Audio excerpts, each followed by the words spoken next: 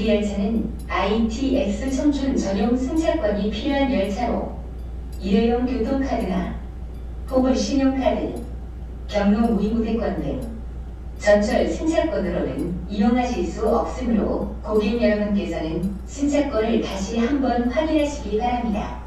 고맙습니다.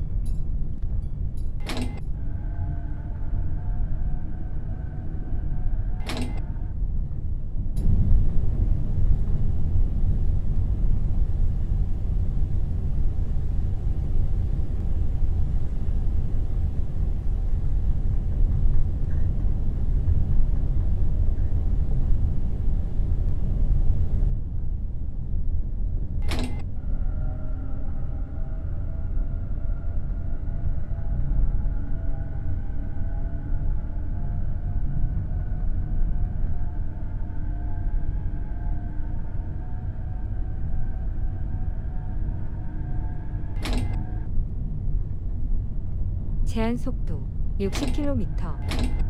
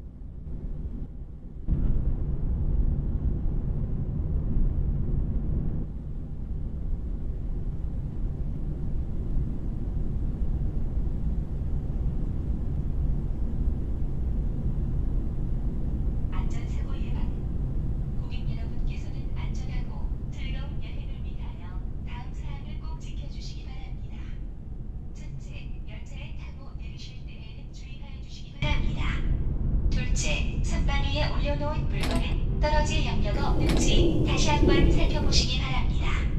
셋째, 어린이를 동반하신 고객께서는 어린이 보호에 각별히 유의하여 주시기 바랍니다. 특히 승강문의 기기 장치는 대단히 위험하오니 임의로 취급하지 마시기 바라며 비상 시에는 안내방송이나 안내문에 따라 취급해 주시기 바랍니다.